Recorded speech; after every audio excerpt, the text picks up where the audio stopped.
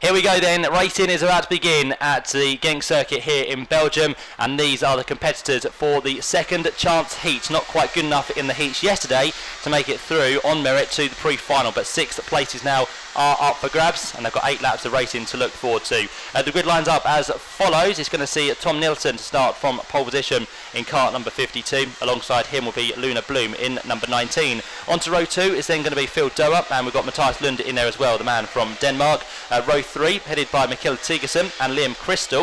If all those th front three rows can hold that position, they'll make it through uh, to the pre-final. But you can be assured there'll be a lot more action coming from further back as well. Uh, row four then sees Kamanuk Artsemi with Lucas Dunner alongside him. On row five, it's going to be Hans Morin and Hamda Al Six is headed by Saman Sjogren and uh, Matthew Latifi, uh, the Canadian, who uh, has shown potential this weekend, so watch out for him uh, to fly through the field from 12th on the grid. Row 7 then sees Pietro Wisnicki, again unlucky in yesterday's heats to find himself in this second chance heat, so he will be one to watch out for as well. And Matthias, uh, sorry, Jakob Matthias Oja then starts alongside. Uh, back on row 8 is going to be Andrea Volta and Marco Andreas Muro. Row, row 9 is headed by Valdemir Eriksson with Sebastian Essner alongside.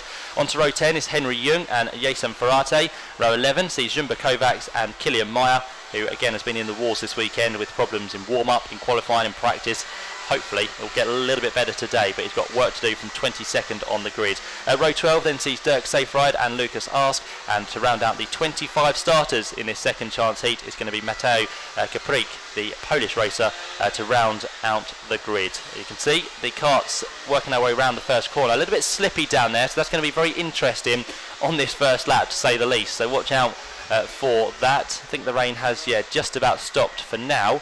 Uh, whether we get any more, we'll have to wait and see because the wind is fairly brisk. So if it comes in quickly, it should head out pretty quickly as well.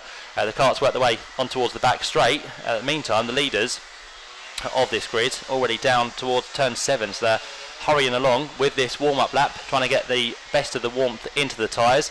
Uh, they'll have to slow down quite a bit now, quite a bit, because even the, the back of the field is only going through turn four. So I don't know what Lucas uh, sorry, Luna Bloom is doing here. I don't know whether they're thinking, uh, okay, they're going to get one more formation lap because there's been a few dramas where we've seen a, a, few of the karts, I think, spin down at turn number one. So uh, Luna Bloom is at the head. He shouldn't be because uh, Tom Nielsen should be there controlling the, the pace lap. Okay, we may have lost, I think, number 52 uh, on that second formation lap. So one more lap will be given. 52 needs to catch up pretty quickly here if he wants to start from pole position because Luna Bloom is still heading the field in that very vibrant coloured kart. The uh, pink fluorescent strip down the side. You can see even on that bit of the track there, it's very, very slippy. So the rain has left a, a slight indent on the track.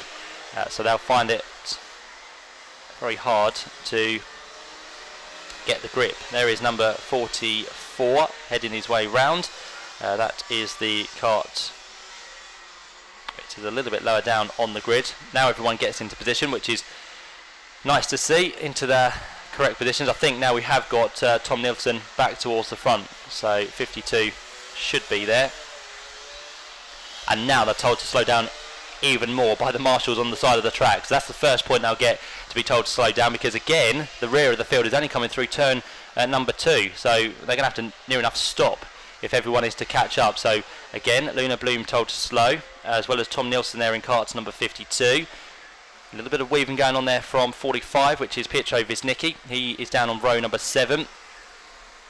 Karts make their way through the final couple of corners, and still they're trying to catch up. Uh, one of the back markers, he's down at turn number 6, so again,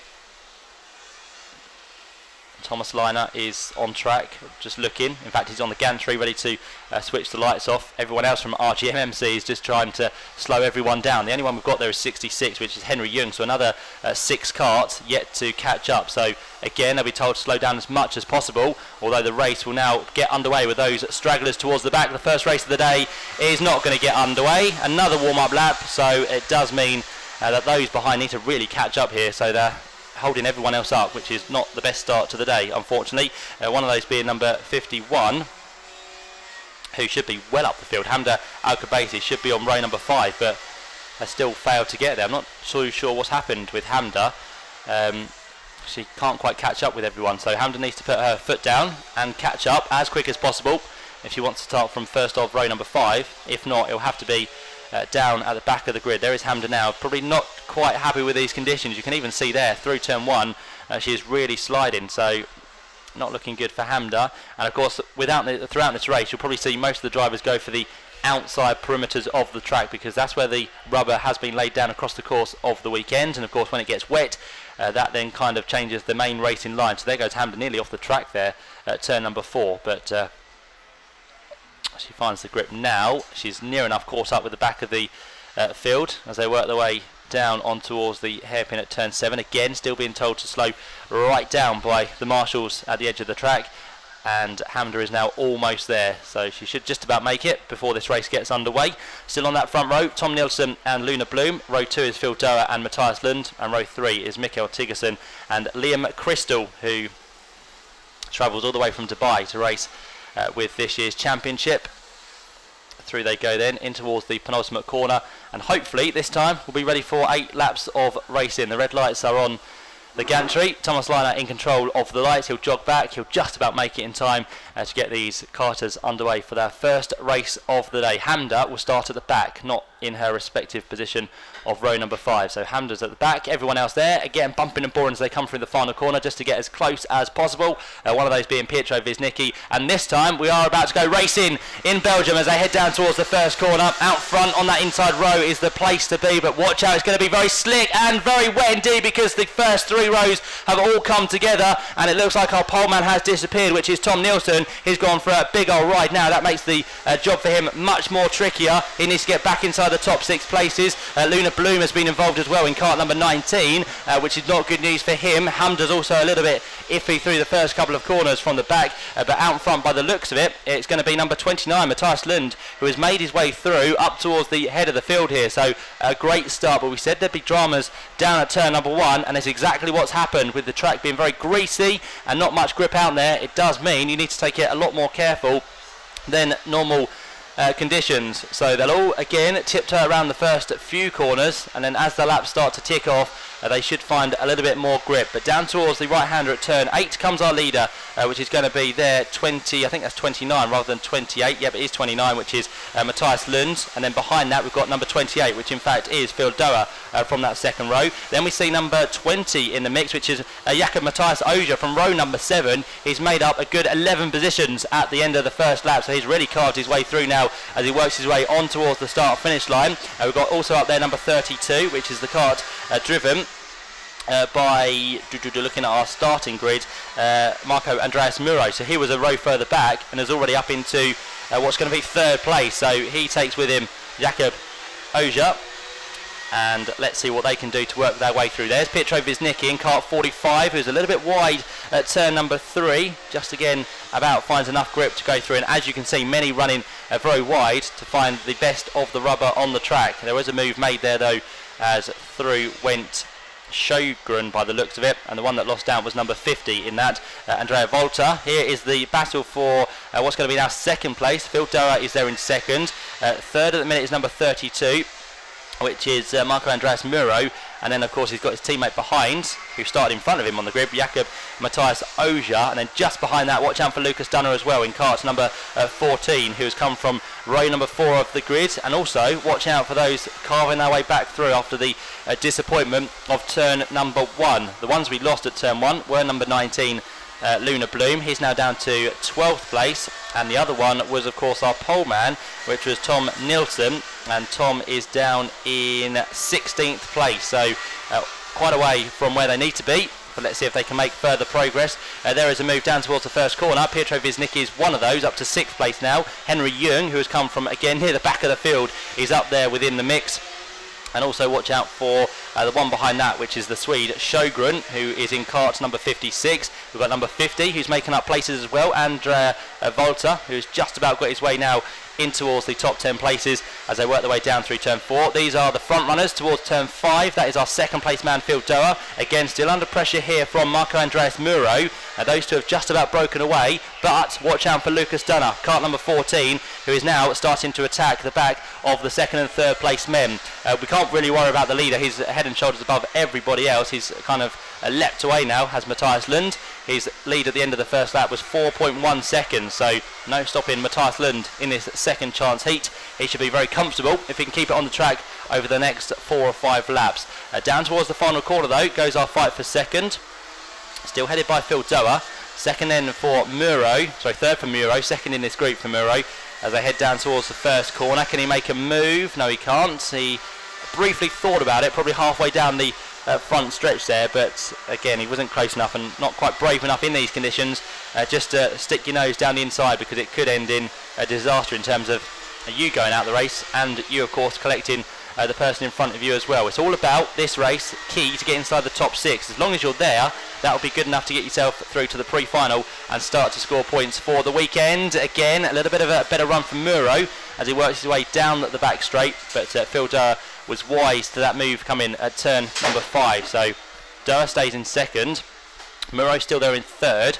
Uh, Lucas Dunner not making too many inroads in towards these two ahead of him.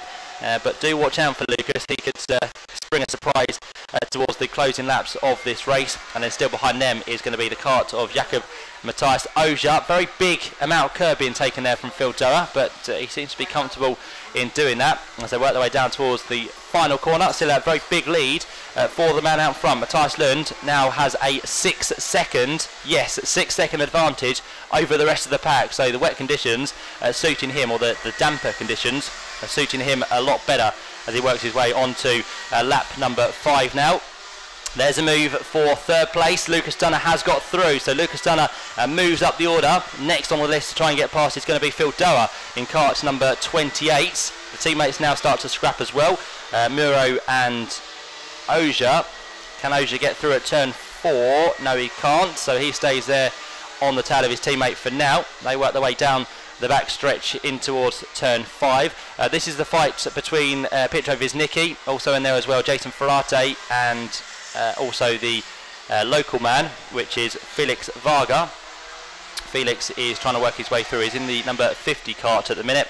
And uh, Felix is doing fairly well. He's inside the top 10. Sorry, Andrea Volta, not Felix Varga. Uh, Andrea Volta, who is up there inside the top 10, but not good enough at the minute to get himself inside the top 6.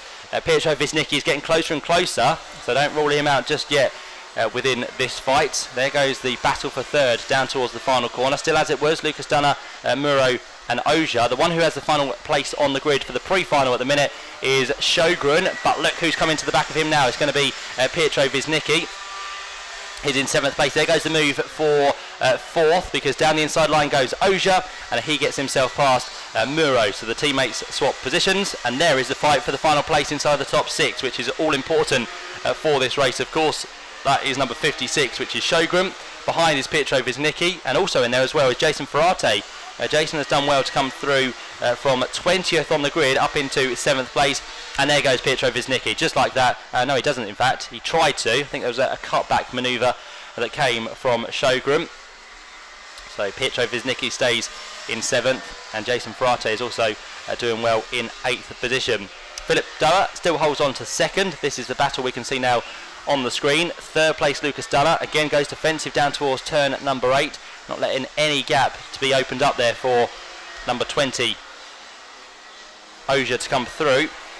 And then of course watch out for Marco Andreas Muro. A little bit of a hand wave there from Lucas Dunner just to say don't try anything stupid. We need to finish inside the top six here to get ourselves through into the pre-final. So they continue for another lap and it's going to be now two to go for uh, the front runners Still out front, by the way, just to let you know, is Matthias Lund. He leads now by 10.3 seconds, which is kind of unheard of in terms of the junior class. But uh, I'm just wondering if he kind of did a, a, very quick switch to get onto wet tyres. That could be a case. Uh, if he has, that was a good call, but uh, it was a very risky one at the same time.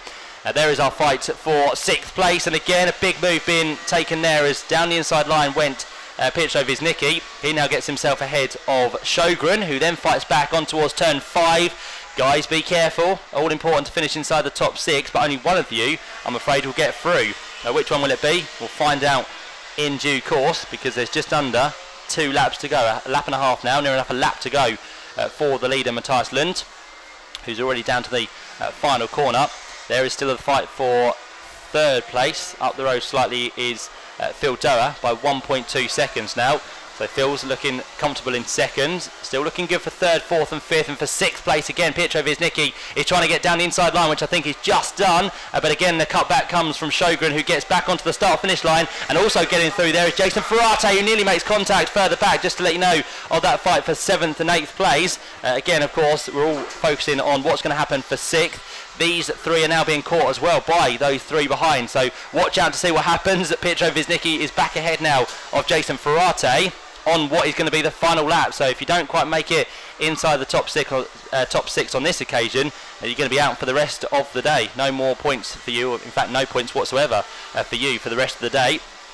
So there goes uh, Jasin Ferati, who is in seventh place, still not quite good enough to get himself into the pre-final. He then runs wide as Pietro Visnicki tries to get through. Of course, Pietro started 13th on the grid, so he's made progress, but it's not going to be good enough to get him through. Meantime, the leader is onto the final corner. Matthias Lund is working his way round. He'll pick up his first win of the weekend, and more importantly, gets him through to the pre-final as a spin there for uh, one of our runners. I think that was possibly Lucas Ask, who has uh, dropped down. Yes, he has, right down the order. It wasn't going to be good enough anyway, but into the final corner comes now Phil Dower, who's going to be second within this race, and again, good enough for the pre-final. Third place will be Lucas Dunner in kart number 14. Uh, fourth place is going to be then number 20, which is Jakob Oja, and then Sjogren and Muro, also the final two, to get themselves on for the pre-final. They've done enough. It does mean though the ones that miss out are Pietro Visnicki, uh, Jasin Ferati, Andrea Volta, and also Tigerson as well, who comes home in 10th position. So a really good race uh, towards the front in terms of third on backwards because Matthias Lund came through with a 13, yes, a 13.9 second lead in the end over Phil Dower. Uh, those two get themselves through to pre-final along with Lucas Dunner, uh, Jakob Matthias Oja, also in there as well was number 56, made very good progress, the Swede, Simon Sjogren, and then also going through was uh, Marco Andreas Muro uh, to get himself onto the final place of the grid for the pre-final in the juniors, and then the ones missing out, as we said, Pietro Visnicki, Jasin Ferati, uh, Andrea Volta, and then Tigerson, Tommy Nilsson, and Luna Bloom as well after the disaster of turn one, where he was kind of side swiped by our pole man there, which was Tom Nilsson. Uh, both of those finished down in 11th and 12th places, but a great run there from uh, our eventual winner, Matthias Lund. He'll be happy to make it through to the point scoring races later on today.